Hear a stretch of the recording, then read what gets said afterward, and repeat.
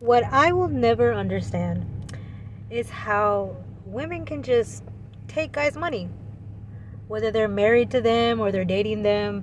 It's it's crazy. Like, how the hell do you girls sleep at night, knowing you just took your boyfriend's or your husband's money, all of it, and then just ran off with it, bought bullshit with it or whatever? Like, how? Where's your conscience? I want to know.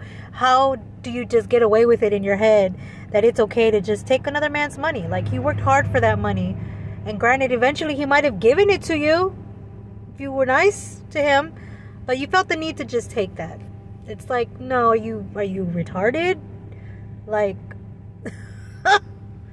be fruitful and multiply. That's in, in all things, not just in one thing. So yeah, I just want to know, like, how do you girls do it? How do you just ask a guy for money and just take it and then just never reciprocate anything? Don't give him anything. Like how? How how do you do it? I want to know because I just I, I could never and I'm married and I can't even take my husband's money. I still ask like, hey, uh, is it okay if I use like twenty dollars out of our bank account? And it's just twenty dollars, okay? Not like fifteen thousand dollars. I wish I wish I could just just take all my man's money and just spend it just irresponsibly. But I can't do that. I can't. And I don't even have kids with him yet. I just maybe I should.